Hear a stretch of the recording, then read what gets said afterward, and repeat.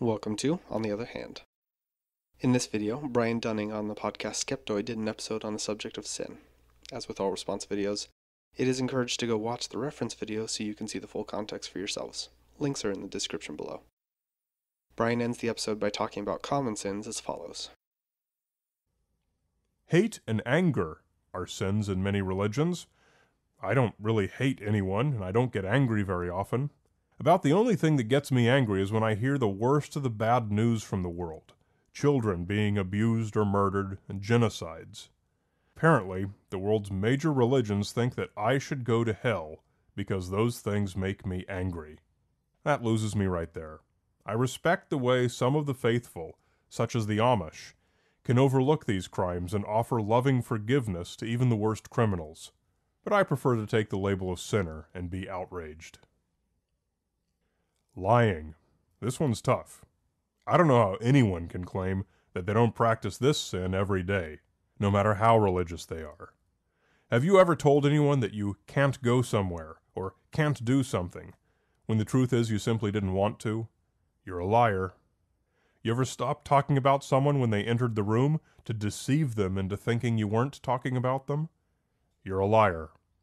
Ever give someone one of those quick fake smiles when you pass them in the hall as if seeing them makes you happy. You're a liar. Lies don't have to be spoken, and they are usually not malicious, but they're still lies. We all do it, all day, every day. Lying is a fundamental of politeness and a pillar of good behavior. The truth is, the concept of sin has no place in the lives of intelligent adults in modern society. Politeness, honesty, industry, and simply being yourself will take you a lot further. I say to those who wish to impose their particular culture's religious restrictions onto those who don't choose to follow them keep your arbitrary restrictions and your hateful labels and your hateful belief that others should go to hell to yourselves. A couple points. First, Brian talks about anger as if any anger is always considered a sin. I would dare say that most religions have something similar to how Christianity has Christ cleansing the temple with a whip. Anger can be sinful, but I would say most religions have some form of righteous anger or indignation. Second, lying.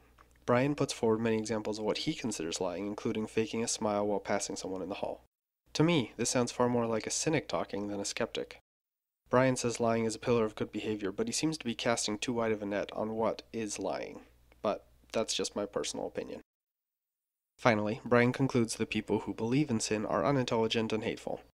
On the one hand, I know of religious people who are unintelligent and hateful, but on the other hand, believing in the concept of sin does not inherently make you such.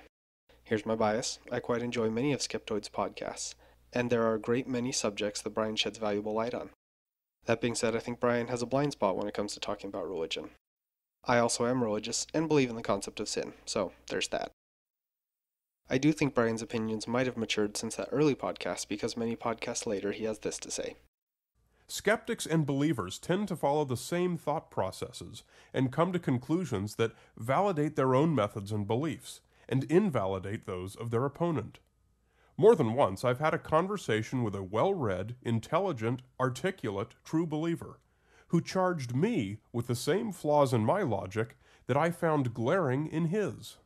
I've watched debates between the top names in science and pseudoscience and seen these conversations deteriorate into little more than takes one to know one, nah-uh, and I know you are, but what am I?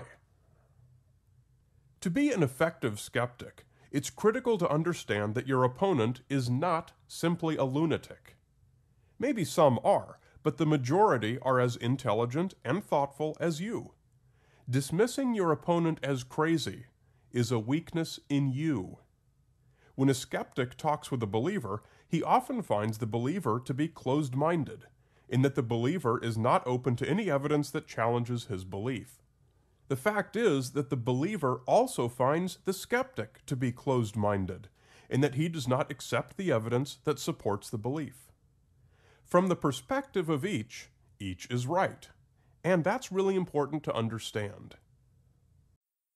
I might have concluded my video here, but I'm not thoroughly convinced that Brian's blind spot of religion isn't still there. Because in a different podcast he said, People who believe in Bible stories are on thin enough ice as it is.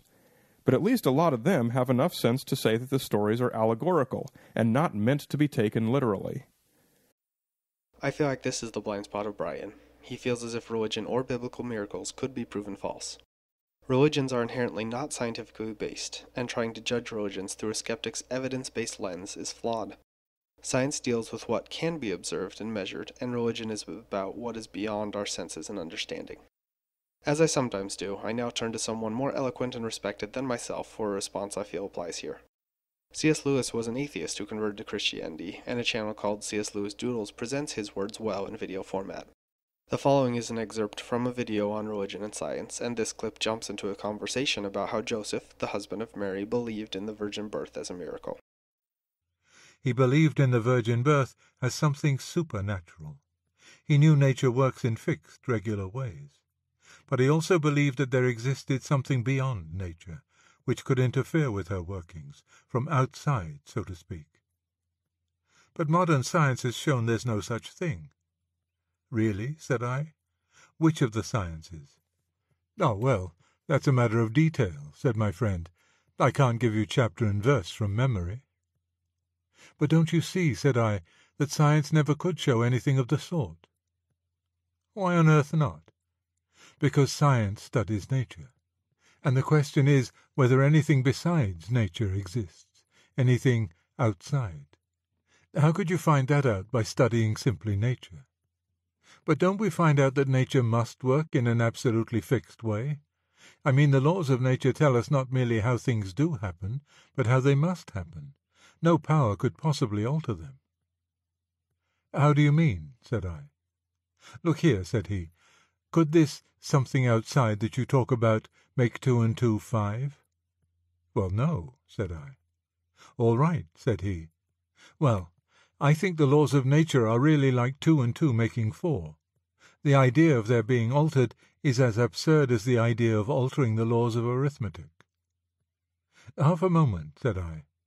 Suppose you put sixpence into a drawer today and sixpence into the same drawer tomorrow. Do the laws of arithmetic make it certain you'll find a shilling's worth there the day after? Of course, said he, provided no one's been tampering with your drawer.